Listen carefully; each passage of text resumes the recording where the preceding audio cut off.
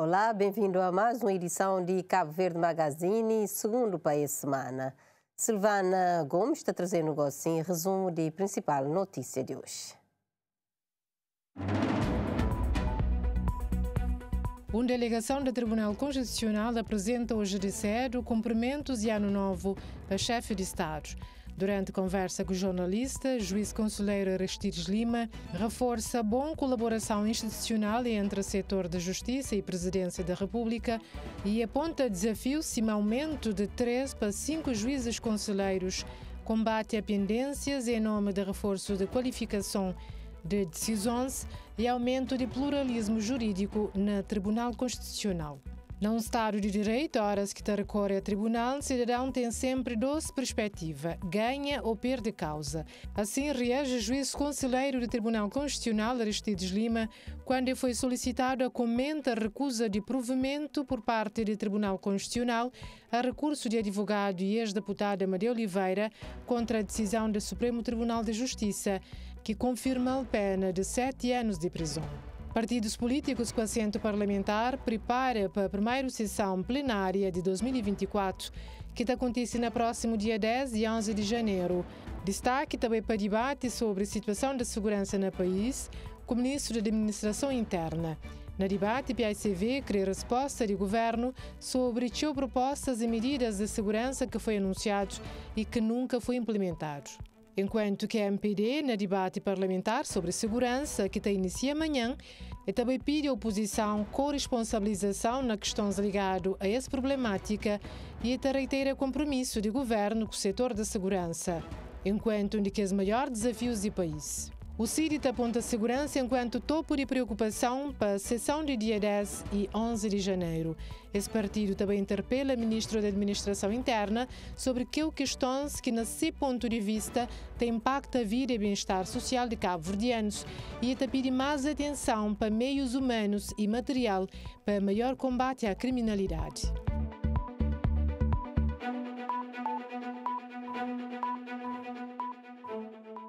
E hoje o pontapé de saída a partir de Ilha de Boa Vista, uma ilha que está a sofrer com falta de combustível naqueles duas bombas.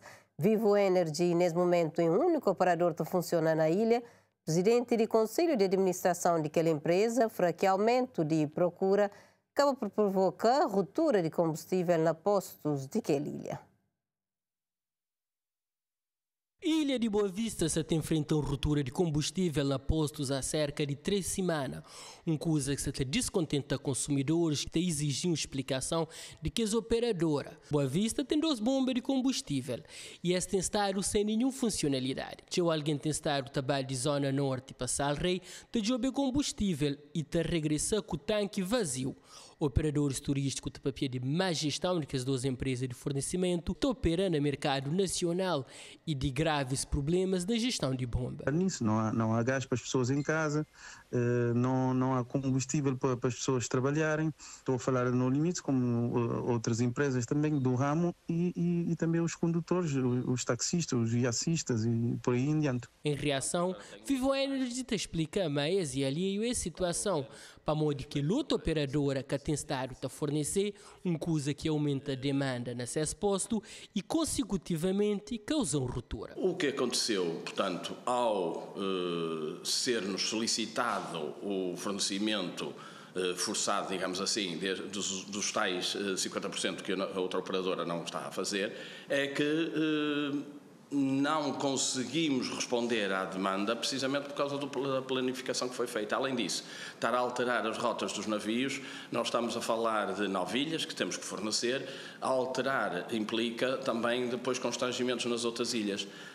Isto não quer dizer que a Vivo não esteja a fazer tudo o que pode para mitigar a situação, eh, mas note-se que é uma situação extraordinária, não causada diretamente por nós, mas por fatores externos eh, e adversos. No tocante a problemas de fornecimento de gás, um pouco para o país inteiro, que ele aconteceu para mudar atraso na fornecedor internacional de dezembro. No entanto, ele está garantindo a situação está a ser normalizada. Ou seja, nós todos os anos fazemos um concurso e fazemos um concurso em que o produto é fornecido às duas operadoras.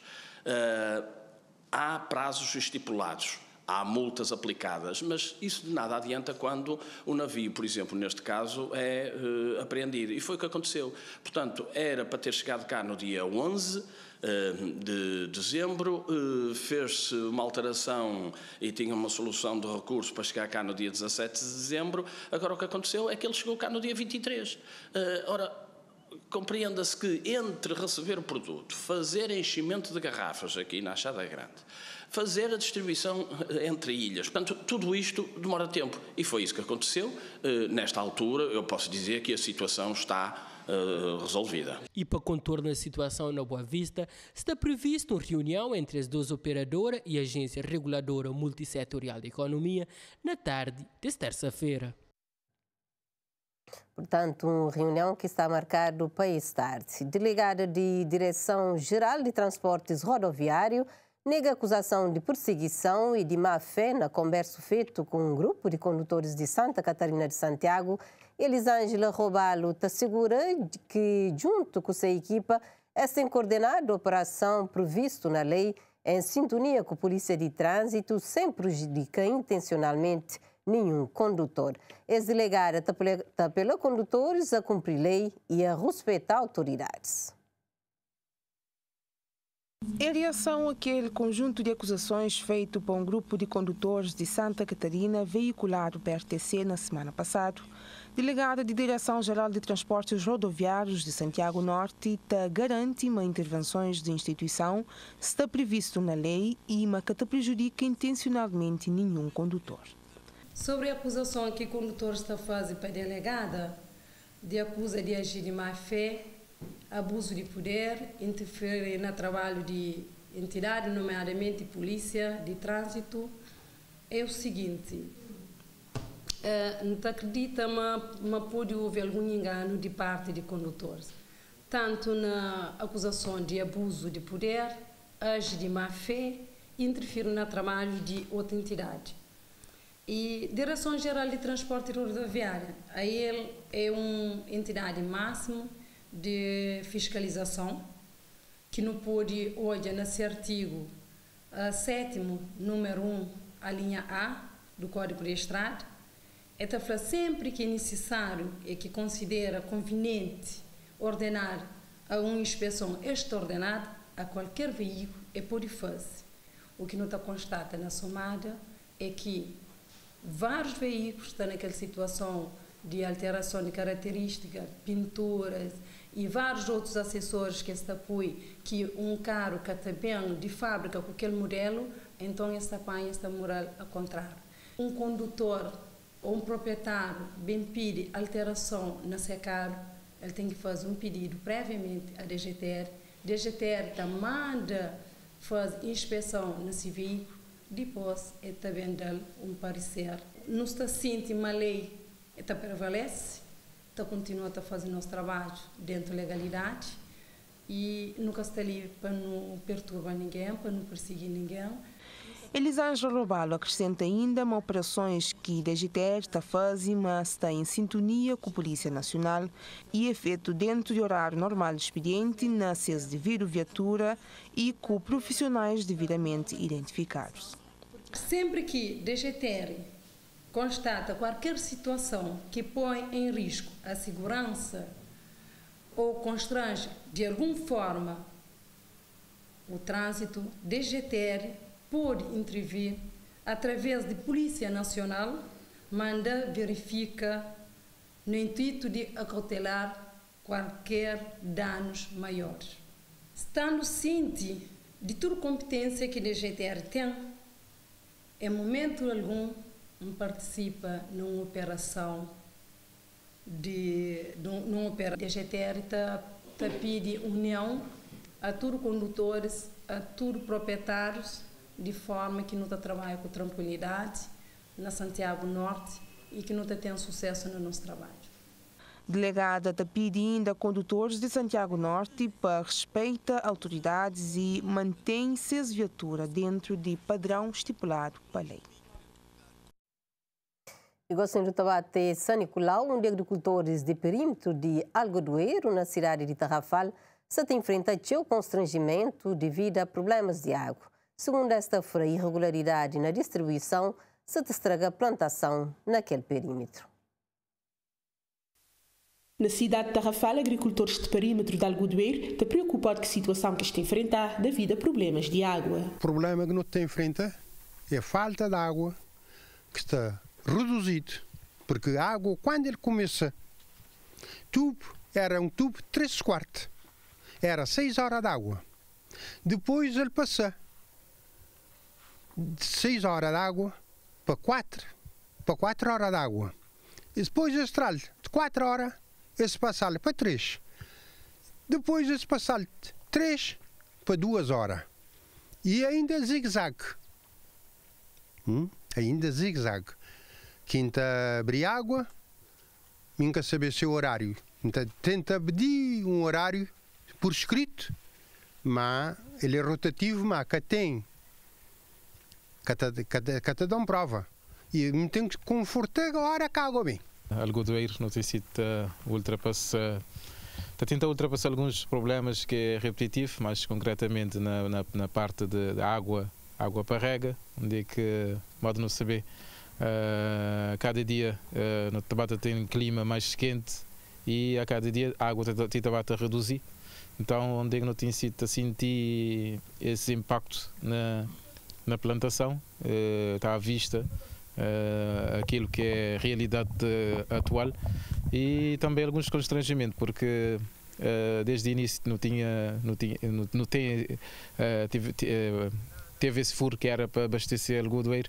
Nesse momento a água também morrendo das pedras, a não saber, tem tido vários uh, problemas, uma, uma, bomba, avarias, onde é que uh, não tem tido uh, semanas sem, sem, sem água, o que também isto também te, te, te, complica. Um outro aspecto relacionado à posse dos terrenos nesse perímetro, que segundo agricultores, está a guardar por decisão de autoridades responsáveis. Há quatro anos, o senhor Ministro da Agricultura vem para ali, ele, uh, ele foi perguntado como na outras ilhas pessoas que tinham posse útil foi decidido terreno para, ser, para passar para, para seus nomes. Ele falou como assim. Para o pessoal apresentava na Câmara seus diplomas e aí a Câmara está a fazer a escrita para entregar a cada um. Na questão de posse, não te, não te acredita que ele está na fase final e que porque já não teve a palavra uh, do ministro há alguns anos, uh, alguns anos uh, anterior e não te só relembra que não está ali na expectativa, porque nós, sobretudo nós mais jovens, para não investir não tem que ter uh, garantia. E, e sabido que tem tido alguns créditos e que normalmente nós nunca temos podido aderir a esse por causa de, de, de, dessa questão de terreno e me acredita que através do Ministério das Finanças uh, e também da Agricultura junto uh, não está conseguir ter uh, esse, esse posse definitivo deste terreno para não poder também transformar o Godoeiro. Não acredita que, que é uma área de, dentro de cidade, uh, uh, mas que tem tudo condições, porque tem ainda não está na, na, na, na, prática da agricultura saudável, sem uso de, de, químicos. Então, por isso, senhor Ministro, não acredita que uh, esse processo está na, na, fim e que já já não está a congratular e te traça novos, uh, novos caminhos para, para o Godoeiro. Eles falam ainda de alguns pragas que está afetar esse perímetro. É falta de, de, de, de, presença do Ministério. Uh, principalmente de técnicos, da gente ultrapassar outras uh, dificuldades, mas uh, nesse caso, nesse momento, alguns pragas que também está feita, uh, foi referido, está na altura de, de, de, de plantas frutíferas, sobretudo mangueiras, está no momento de de, de, de, de florir e, e, não ter que praga de cafanhote e não só outros, uh, outras dificuldades uh, assim que não podia que podia ajudar no sentido de ter mais água e melhores condições para, para a prática da agricultura no Algodoeiro. Agricultores está pela mais atenção a problemas que está afetar o perímetro agrícola de Algodoeiro na cidade de Rafal. Na maio, agricultores de Zona Norte já têm mais de quatro anos a esperar a reparação de uma bomba na furo de Pelancão. Esta conta com tudo porta possível, mas tego assim, é atendido. Chateado esta frama agricultura, é fonte de rendimento e sem água praticamente esta passa fome na casa. Esse é, é o primeiro nem segundo vez que agricultores de Zona Norte, mais concretamente de localidades de Pilãocão e Alcatraste, procura comunicação social para denunciar essa situação. Esta flama já é que tem quem recorre de esbater na empresa Águas e Energias de Maio, na delegação do Ministério da Agricultura e Ambiente, na Câmara Municipal e mesmo contacto com algumas pessoas influentes de Maio que têm algum poder de decisão, mas durante esses quatro anos foi só desculpas e trara de porta. Cansados de resolver bem para a comunicação social para um grito de socorro para morrer esta flama Flamengo está praticamente a passar fome. Desde 2019 que não estou trabalhando como agricultor ali na Plangoni Riba. Agora hum, tive um problema lá na, na Furo, com bomba tive avaria. No contacto serviço de água e energia de maio, único é que Furo te aprendesse, água e energia, precisa fazer alguma coisa. Uh, naquele momento, eles não está fazer, eles não técnico para bem job, coisa que isso aconteceu eles entendem que aquela bomba já estava estragada. Uh, eles falam que precisa comprar novo bomba para pôr. Durante aquele tempo, eles ficam de porta, tirando de porta, tirando de porta. Não vai falar com o delegado de MD, de MDR, ou seja, Serviço de Agricultura, se pode ajudar nós como agricultor fazer alguma coisa. Para nós, eu nunca tinha força de fazer nada. Nós não fala com ele durante aquele tempo, de 2019 até hoje, está quatro anos e tal, falta alguns meses para cinco anos. Nós assim água. Nós não dependemos de agricultura. Nós trabalhamos em agricultura. E gosto essa mostrando que tem condições. Nós não fala com o delegado, delegado só mostra tudo que ele pode fazer, já faz. E nós não gostamos nada. Nós, presidente de Câmara, também, se pode ajudar nós, é falando, ele tem uma preocupação de ser, mas está fazendo também. Mas nós não gostamos nada. Não é para setor de água, energia de maio, é falando, é uma preocupação, mas que tem dinheiro. Mas aquele algo, por exemplo, compondo ele, está custa cerca de 500 conto. E de momento, esse que tem 500 conto. E não na televisão, para não hoje, se tem alguém que pode ajudar a fazer aquilo coisa Ou para resolver aquele problema. Mas já está 4 anos, qualquer que começa, só falta alguns meses para cinco anos. Nunca tem nada para fazer mais. E como agricultor, nós, nós trabalhamos em agricultura, nunca temos trabalho.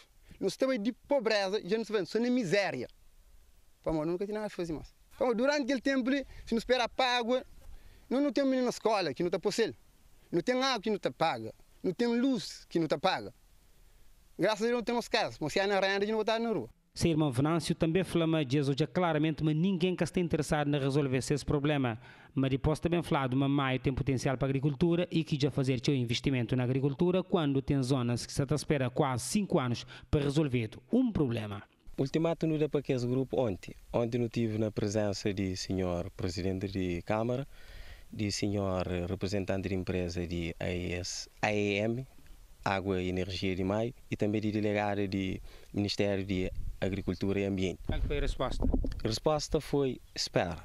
E ainda de tarde estou fazendo ligação telefônica, para o mundo tem que esperar e senhor de empresa AEM falou para mim de já fazer um lançamento, pedido de financiamento de 500 conto, onde as ainda que tem resposta. E delegado de ambiente falou para mim de essas que tem mecanismo financeiro gosta para agir que lá. No meio junto com ele ele de câmara de maio falou para mim de é que tem como. Então tudo que você exatamente é é tempo. É tempo, riba de que quatro anos, para durar mais tempo. Para não sair de, de miséria e para não morrer de fome.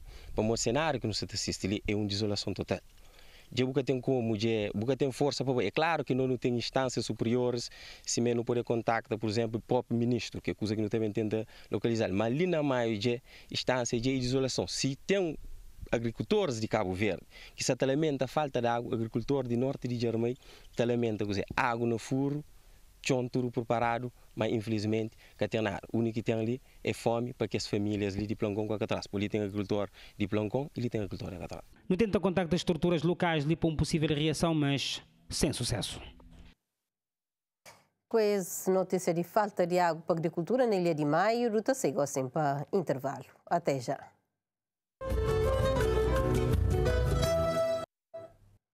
Do abrir a segunda parte com informação desportiva para conta que a RTC garante direitos de transmissão para Campeonato Africano de Nações na futebol, cobertura noticioso de CAN de handball e transmissão de Jogos Olímpicos de Paris 2024. Desporto nacional tem estado a mais alto nível na África, com presença de tubarões azuis no Campeonato Africano de Nações de Futebol e Handebol.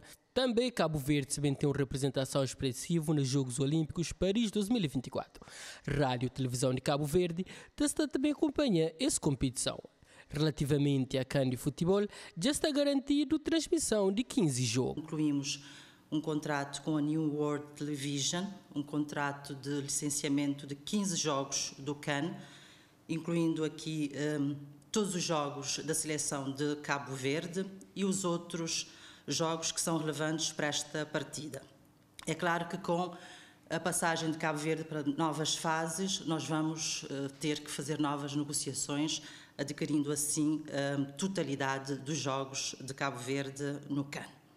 Para além da aquisição de direitos de exibição aqui no território nacional dos Jogos de Cannes, eh, a Rádio de Cabo Verde também vai estar na Costa do Marfim para garantir os relatos dos Jogos. A partir do dia 11 de janeiro estará a Rádio de Cabo Verde para acompanhar todos os Jogos da Seleção Nacional. Portanto, com essas duas modalidades, a RTC garante a cobertura integral do CAN, sobretudo do desempenho da Seleção Nacional, tanto a nível de exibição na televisão como a nível dos relatos na rádio. No tocante a handball, que Cabo Verde conquista segundo lugar de ano passado, também tem uma equipa que está no Egito de 14 a 29 de janeiro para cobrir jogos de seleção. No caso do handball, teremos uma equipa integralmente no terreno a fazer reportagens para rádio e para televisão. Portanto, não teremos os diretos do campeonato, mas teremos reportagens diárias para rádio e para televisão. Também pensamos que é uma resposta satisfatória que damos aos nossos telespectadores e ouvintes. RTC está último processo de aquisição de direitos de transmissão dos Jogos Olímpicos de Paris com a empresa Infront, mas também a RTC também deixa telespectadores e ouvintes, a par de tudo, através do projeto Casa de Cabo Verde na Paris. E este ano particularmente, como a participação de Cabo Verde nos Jogos Olímpicos vai ser uma participação muito uh, importante, haverá um projeto chamado Casa de Cabo Verde em Paris, desde o ano passado que a RTC assinou um contrato com o Comitê Olímpico Cabo-Verdiano no sentido de garantir a cobertura de todas, todos os eventos dos Jogos Olímpicos a partir de 26 de julho a 11 de agosto. Rádio e Televisão de Cabo Verde, esse parceiro, quer garantir assim uma cobertura de que esse três grandes eventos desportivos que Cabo Verde participa na 2024. Admilson Veiga e vencedor do concurso de cartaz Creole Jazz Festival 2024, eventos agendado para dias 4, 5 e 6 de abril na cidade de Praia. Vencedor também recebeu um prêmio de 30 conto, projeto escolhido e direitos de reprodução e divulgação também passam a ser propriedade exclusivo de harmonia limitada que pode fazer alteração que é necessário. Segundo a harmonia limitada, a proposta de Admilson Veiga foi, foi de um design clean, simples, autêntico, atrativo e minimalista que te retrata espírito de Creole Jazz.